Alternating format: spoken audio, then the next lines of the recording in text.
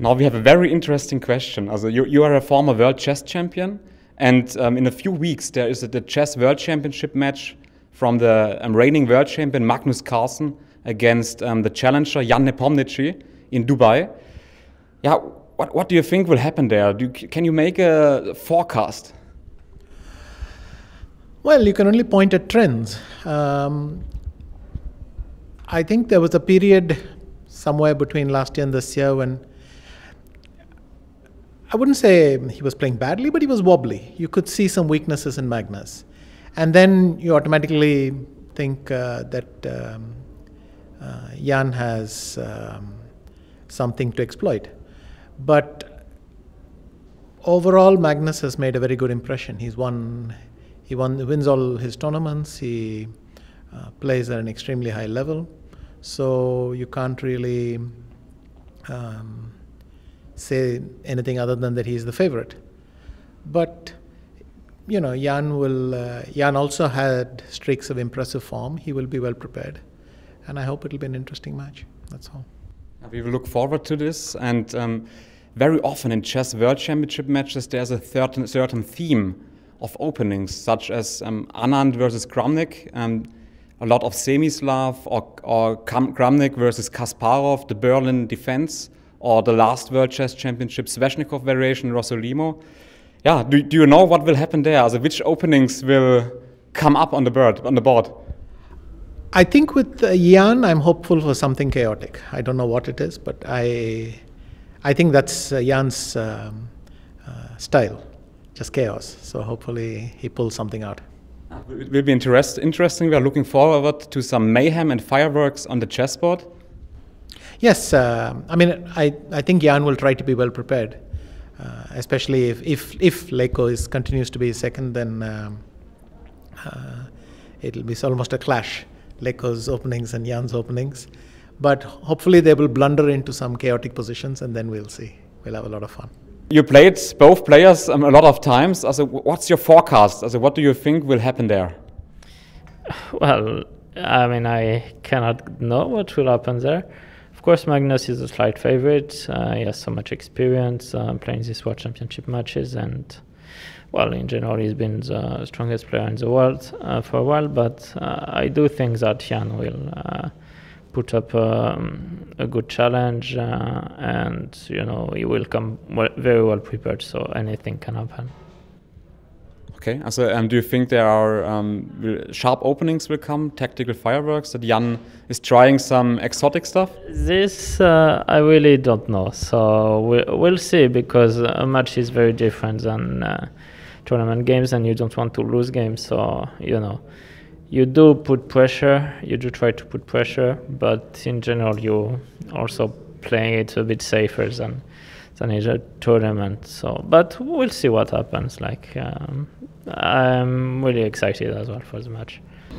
Um, well, I'm not very good at predicting these matches normally, but uh, I mean, I think Carlsen is a favourite, but uh, I mean, I don't think he's such a huge favourite because uh, Jan Nepomniachtchi has uh, big uh, has quite a good score against Magnus in classical games, and I think that's that's kind of very important for him to have this confidence that he scored well against him in classical chess in the past. So, uh, but I think still Magnus, I think, uh, is overall the strongest. I think he is a small favourite, but I think it could be quite close. Quite close match. And do you think that will be there will be tactical fireworks and very interesting ideas? Yeah, I think so. Maybe not, maybe not right at the start, but I think in general it will be a very interesting match. Maybe a couple of quiet games at the start, but I think it will get very interesting by the end, certainly.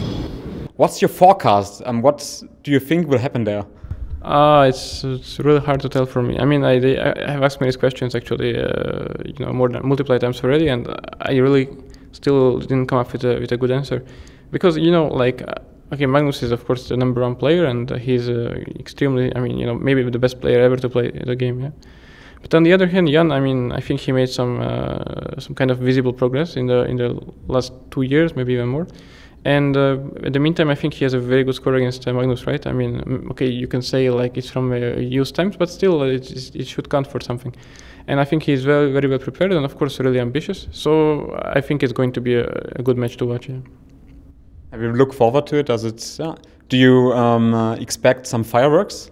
Uh, yeah, sure. I mean, it's uh, it's very hard to define fireworks, right? Because uh, maybe for uh, like an amateur spectator, some things are really boring, and maybe for a professional player, they are like you know lots of work behind it, and it's hidden or or not hidden. It's just you know. Uh, uh, just you know, very exciting in a way of you know intellectual uh, way. Yeah. So we will see, but uh, I, I'm sure I will have fun watching it. Yeah. Can you make a forecast? What will happen there? So who will win this competition?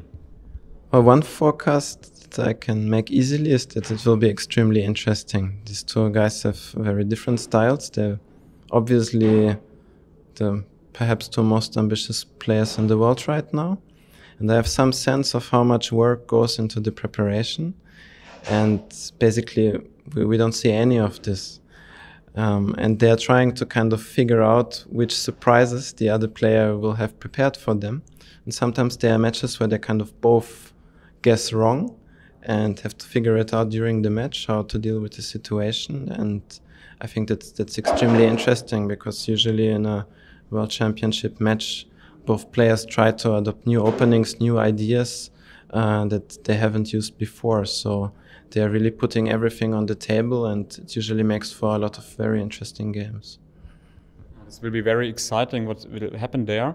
Um, yeah, you, you, you say it. Also, every World Championship match has something like a certain theme. In the last World Championship match in London 2018, the players played a lot of Sveshnikov lines or Rossolimo variation yeah, do you have a clue as of which opening will um, can we expect um, this year in Dubai? If I had a very good idea on such things, I would probably be on someone's team because this insight is very valuable. I have, I have no clue actually. So I'm just as as uh, uh, curious as everyone else to see, you know, what openings they will play.